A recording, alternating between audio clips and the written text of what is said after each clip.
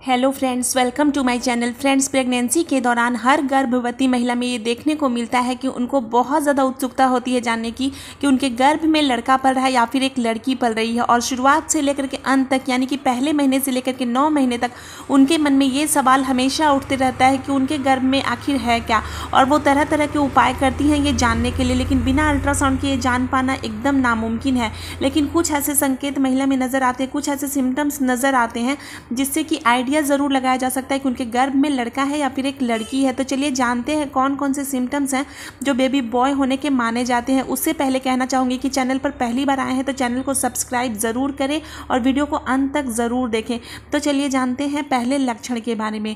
तो सबसे पहले माना जाता है कि प्रेगनेंसी के एक महीने से लेकर के तीसरे महीने तक अगर कभी भी महिला को हल्की सी भी स्पॉटिंग होती है तो माना जाता है कि उनके गर्भ में एक लड़का पड़ रहा है। थोड़ी सी भी अगर ब्लीडिंग उनकी होती है तो ये लड़का होने के लक्षण माने जाते हैं। लेकिन फ्रेंड्स अगर आपको स्पॉटिंग होती है तो ये खतरे की निशानी भी हो सकती है।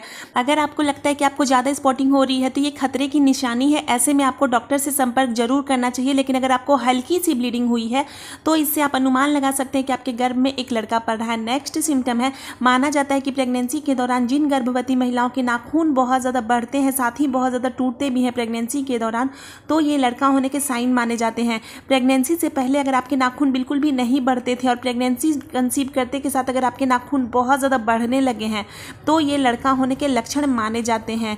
नेक्स्ट सिम्टम है कि जिन महिलाओं के पेट की जो त्वचा है, वो काली पड़ने लग जाती है। गर्दन के पीछे अगर काला सा आ जाता है निप्पल्स का कलर बहुत ज़्यादा डार्क हो जाता है, चेहरे पर छाइयाँ नज़र आने लगते हैं अंडर आर्म्स काले पड़ने लगते हैं, ये सारे बॉडी पार्ट्स अगर काले पड़ने लग जाते हैं तो इससे भी आइडिया लगाया जा सकता है कि उनके गर्भ में एक लड़का पड़ रहा है, क्योंकि माना जाता है कि बेबी बॉय होने के टाइम पर महिला के कुछ पार्ट्स ऐसे होते हैं, जो काले पड़ने लग जाते हैं तो ये लड़का होने के साइन माने जाते हैं।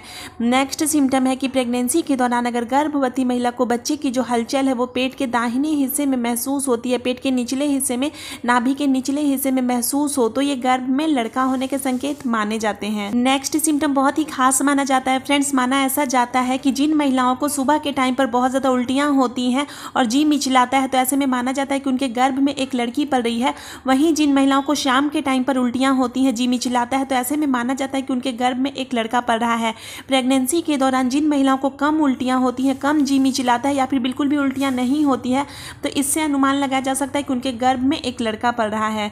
अगले सिम्टम के बारे में बात करें तो प्रेगनेंसी के दौरान अगर गर्भवती महिला का जो पेट है, वो छोटा नज़र आता है, सातवें, आठवें महीने में भी उनके पेट छोटे नज़र आते हैं तो ऐसे में अनुमान लगाया जा सकता है कि उनके गर्भ में एक लड़का पड़ रहा है। नेक्स्ट सिम्टम है कि प्रेगनेंसी के दौरान अगर महिला को बच्चे की हलचल बहुत तेज महसूस होती है, देरी से हलचल करता है लड़का, लेकिन बहुत तेज हलचल करता है। अगर आपको बच्चे की किक बहुत तेज महसूस होती है तो इससे आप अनुमान लगा सकते हैं कि आपके गर्भ में एक बेबी बॉय पल रहा है। तो फ्रेंड्स ये सारे सिम्टम्स अगर आप में नज़र आ जाए तो इससे आप समझ लें कि आपके गर्भ में एक लड़का पल रहा है, लेकिन इनका कोई साइंटिफिक आधार नहीं है तो इसे आप हंड्रेड परसेंट श्योर नहीं मान सकते हैं। फ्रेंड्स वीडियो पसंद आए तो वीडियो को लाइक शेयर करें चैनल को सब्सक्राइब करें। मिलूँगी नेक्स्ट वीडियो में, तब तक के लिए बाय